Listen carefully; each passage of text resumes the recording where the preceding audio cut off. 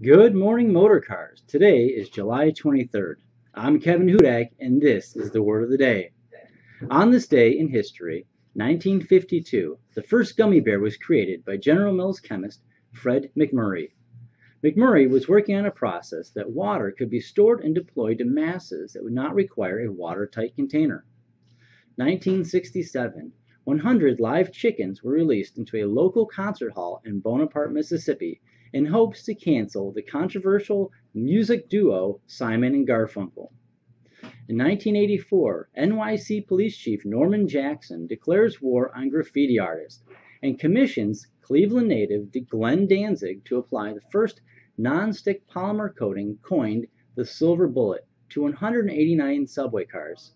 The project was such a success that by the end of 1989, Danzig had sold his product license to General Electric for a whopping $68 million. Well, everyone, here we are in the middle of summer. Business is strong, and many of us had record months in June. But with that said, we can't lose sight of our goals. So today, I wanted to talk about planting seeds. Chuck has often said, we are farmers, not hunters, and by planting seeds, we will have a healthy customer base for years to come. Think of planting seeds as educating your customers not only on the immediate repairs or maintenance, but also on the upcoming ones too. We want our customers to always think of Motorcars first when it comes to their vehicles.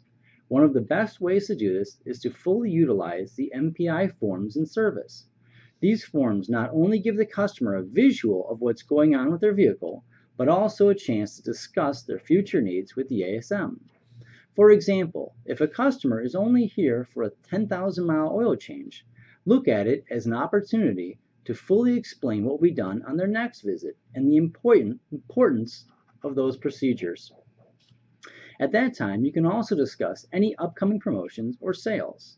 These are just a few of the ways to keep to plant seeds in our customers' minds. Remember, the goal is to grow a healthy customer base that will continue for years to come. Congratulations to the top Route 66 contenders. Way to go, Eric Morgan and JD Tallman. I also wanted to give a shout out to Cindy Gary for bringing me Nutty Bars today. Thank you. Very nice. Okay. Have a great day, Motorcars. Take care.